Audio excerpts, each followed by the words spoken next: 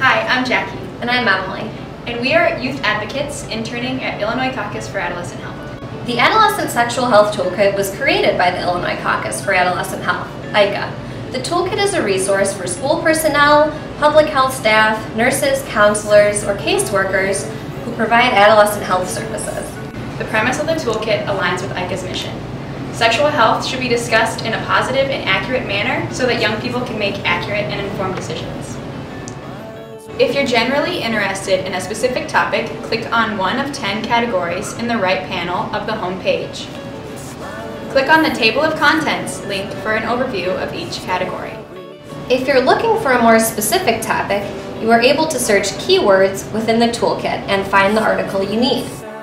After exploring ICAH's Adolescent Sexual Health Toolkit, enter your email address to be notified when new and interesting posts are available.